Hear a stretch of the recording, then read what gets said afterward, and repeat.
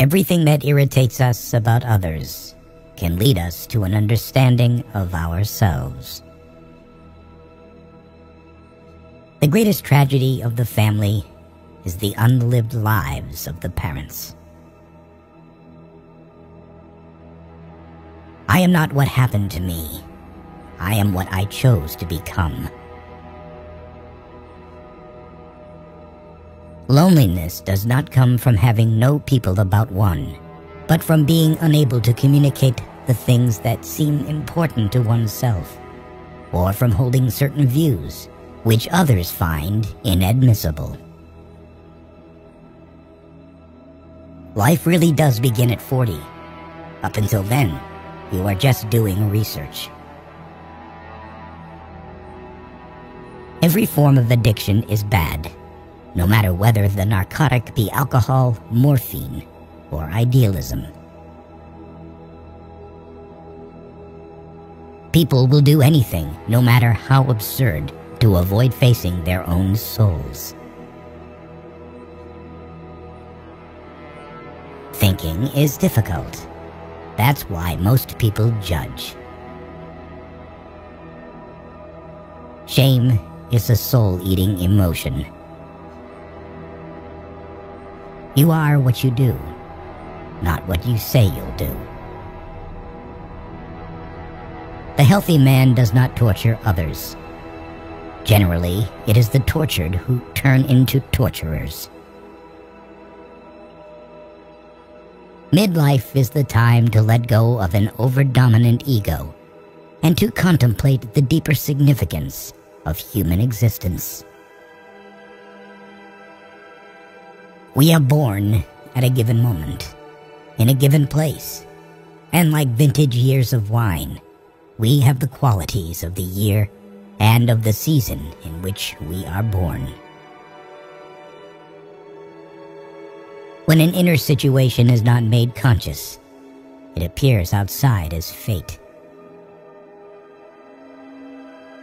Children are educated by what the grown-up is, and not by his talk.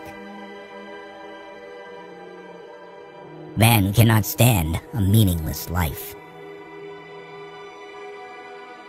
Where your fear is, there is your task. Man needs difficulties. They are necessary for health. Don't hold on to someone who's leaving. Otherwise, you won't meet the one who's coming. The least of things with a meaning is worth more in life than the greatest of things without it. What did you do as a child that made the hours pass like minutes? Herein lies the key to your earthly pursuits. The greatest and most important problems of life are all fundamentally insoluble.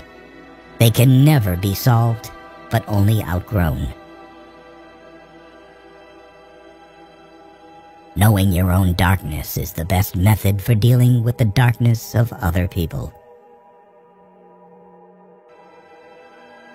Depression is like a woman in black. If she turns up, don't shoo her away. Invite her in. Offer her a seat. Treat her like a guest and listen to what she wants to say. Knowledge rests not upon truth alone, but upon error also. Every human life contains a potential.